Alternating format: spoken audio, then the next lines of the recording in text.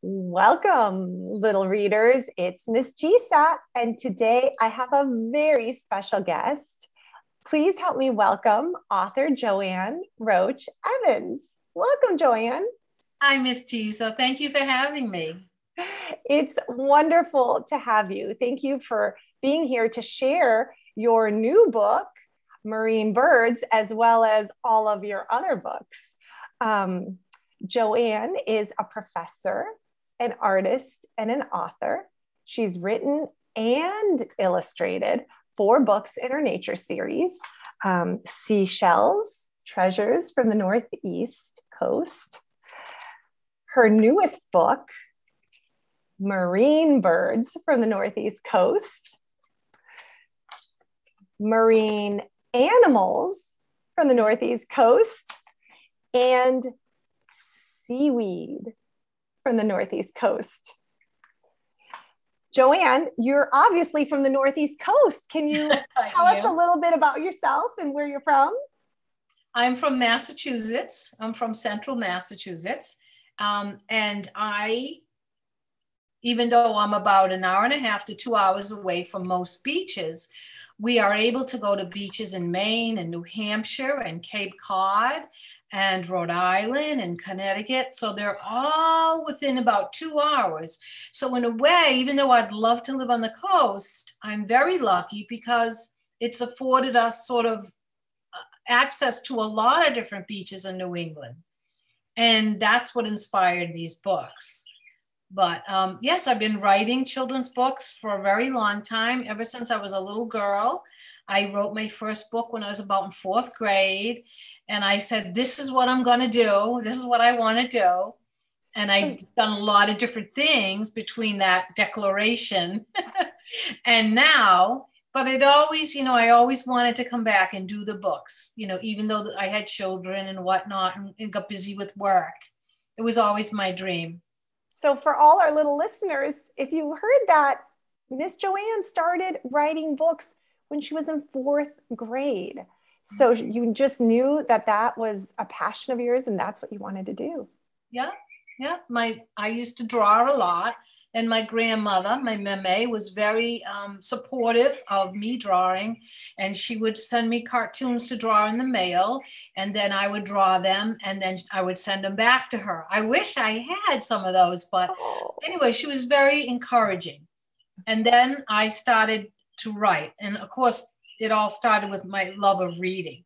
I remember learning to read because I think I came to it a little late, but it must have been around first grade. Mm-hmm. I'm not sure, but I remember finally being able to sound out those letters, and I thought it was magic. I thought it was the greatest thing in the world. It's so exciting. Yeah, I think reading was really, you know, just one of my loves. And then the artwork. And I can remember starting to write poetry probably around the same time.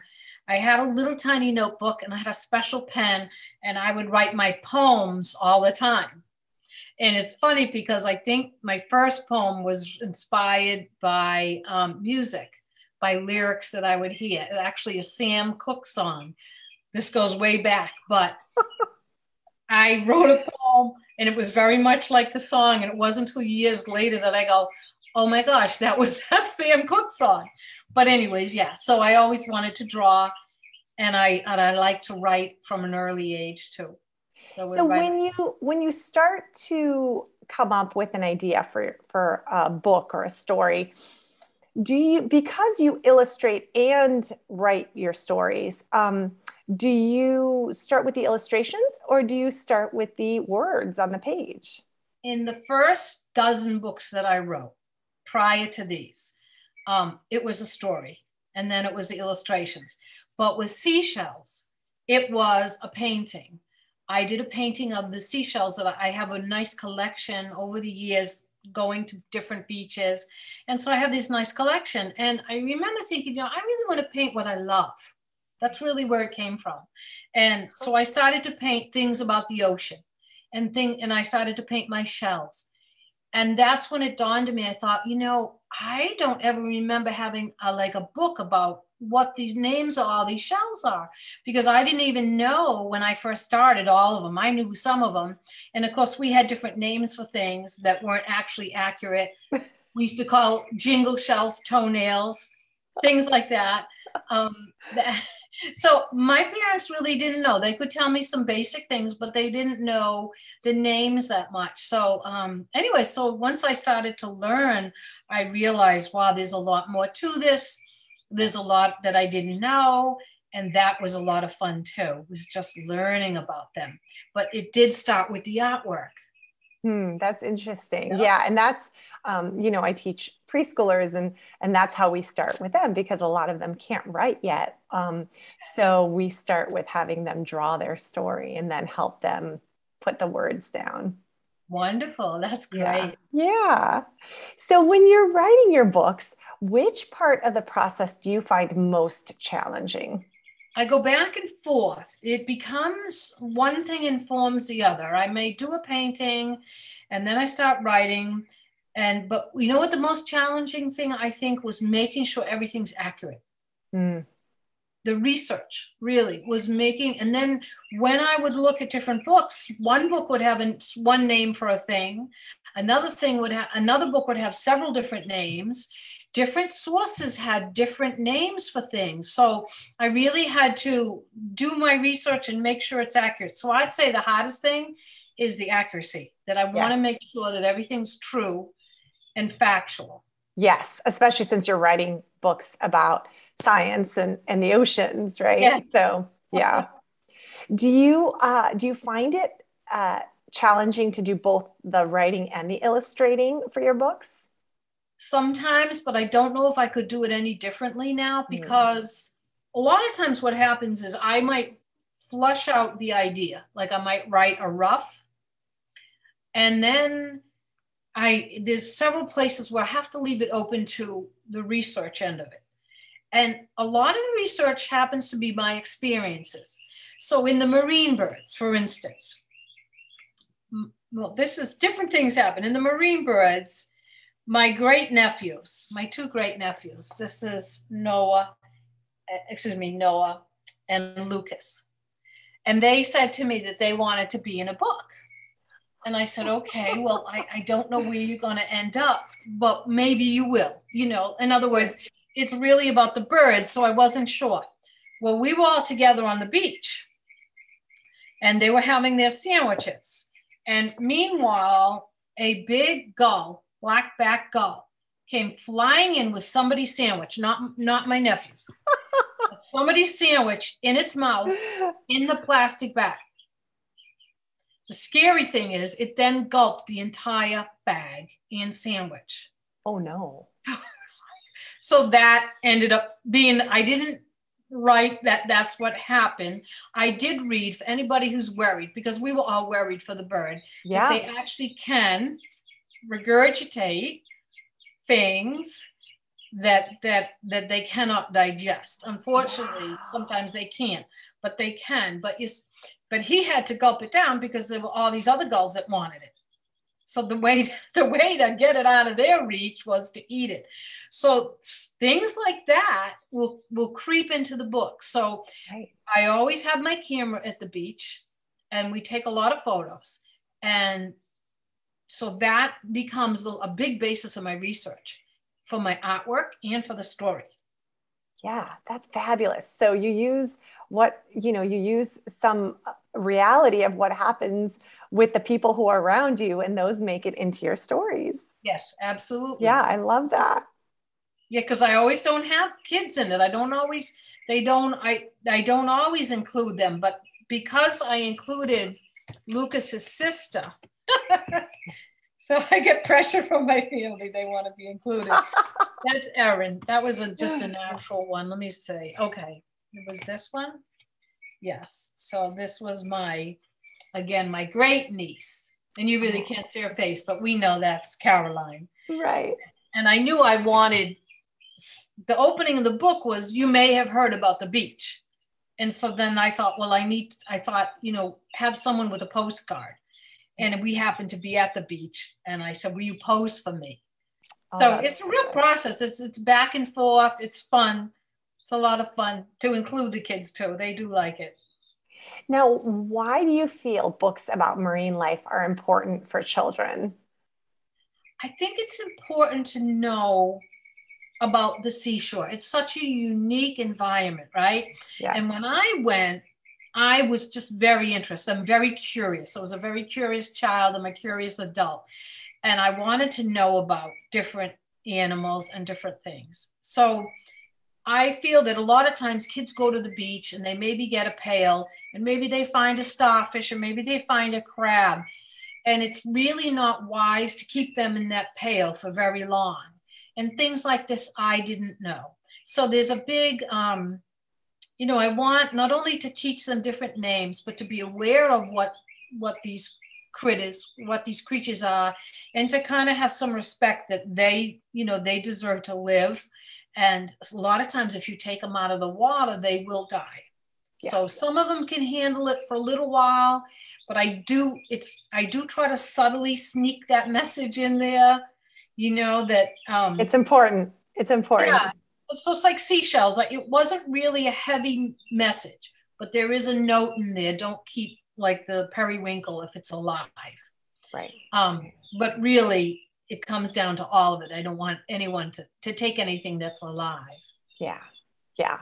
yeah. And how how can parents use your book to teach children about the plants and animals species uh, that live in the Northeast and and anywhere for that matter? Well, if in my books in particular, I feel like they can be read as a bedtime story. Mm-hmm. I feel like that you can um, read it as a little story, and it's just it's not all facts. Hopefully, right. my aim was there was a flow to it, and that um, it made sense. And I wanted to keep it simple so that you could know sort of the basic animals, the basic seaweed, that you would find the birds the most familiar birds because it's right. tough because i want to include more so right um, parents, you know, I think will introduce the some of these animals through the books, mm-hmm. but they can also can hopefully invite questions, not only for themselves, because I think parents can learn a lot from these. For I know, sure. I, know, I learned I, a lot. in researching them, right? And there's a lot more to learn. So I feel like this is a good base and hopefully um, excites their interest to know more because these books, even though they they're for a younger child, they can also go for an older child. In other words, they hope can stimulate the fact that oh, there's so much more to learn. There's more things I can know. And yeah. with parents, I guess that's the jump. You know, this is the base, and they can go from there. I also always try to include links in the back of the book to other books that I found helpful and to YouTube sites that are helpful. Yes. And I think if um, you know many many families uh, travel to the to the Northeast, right, to visit family, or maybe they're living there, and so as an educator, I think it's great to if you're going to visit the seashore, what a what a wonderful resource um, to be able to bring this these books along and actually like what can we find today? You know what what birds are we going to see? What treasures are we going to find on the seashore um, mm-hmm. and then have you've done such wonderful research with the with the scientific names so that they actually know what they're called. I have a very good editor too so she's a marine biologist and i rely on her heavily especially on the seaweed book. Yeah. she's actually my niece too and she she actually appears in the seaweed book. Um, i had a, a photo of her as a kid. She's so cute. This is erin so this is when we'd go to the beach together. Um, we, I come from a very big family, and so we would all be together. And Erin is the one that said to me, "Will you do a book?" I had done the book of seashells, and she said, "You should do a book about seaweed." And I said, "Oh, Erin, what am I going to write about seaweed?" I didn't have the inspiration, so I have to say that was her. And what happened is I went to the beach that year, and suddenly a beach that we normally go to that is seaweed free really doesn't have a lot of seaweed. It had a lot of seaweed that year. And I said, okay, all right. So I started to photograph it, everything that I saw. And um, when I got home, I started to paint it and I said, I love painting seaweed. It's oh, beautiful. It is. And actually, I hope that kids would see that in adults that it's really rather beautiful. It's, you know, we may go, oh, don't touch it or whatever, but it's really beautiful and it's really important to the seashore, to life. It really is. It really is. When I was teaching my kids about the ocean and the seashore last year, I learned so much about how important it is uh, to that ecosystem. Mm-hmm. Um, do you think you'll ever write about um, marine animals and plants on the West Coast? I don't know. I would okay. have to. I would love to, but I feel like like part. You know how they say write what you know. Yes. Part of this series was this it was regional because this is what I know, this is what I could experience. And it wasn't just a couple of years of experience, it was a lifetime of experience. Yes, yes. Being really close connection to the, the beach. Yes. Um, so I don't know. I mean, I'm, I, you just never know, right? If uh, it would have to have certain circumstances that would support that. I mean, there may be somebody on the West Coast that'll watch this and say, I can do that. Well, I'm planting, I'm planting the seed for you. okay. Because it doesn't have to necessarily be me. It could be somebody else. It could be, absolutely. It, right? Yes, yes, yes. There is one that's done very well in story form. Um, um, but I, I, would like to see more because I, I think there's there's more to write about. I will definitely consider that. All right. All right. Well, do you, on that kind of along the, those same lines, um, do you have more books that you are thinking about adding to your nature series? I do. I have one in particular. Okay. I had a couple, but I think that this one may encompass a couple a couple different things. This okay. and it may be the final one in this particular series. Okay. Okay. Again, it all depends what happens. Is it a surprise, or can you tell us a little bit about the topics? I was thinking of wildflowers.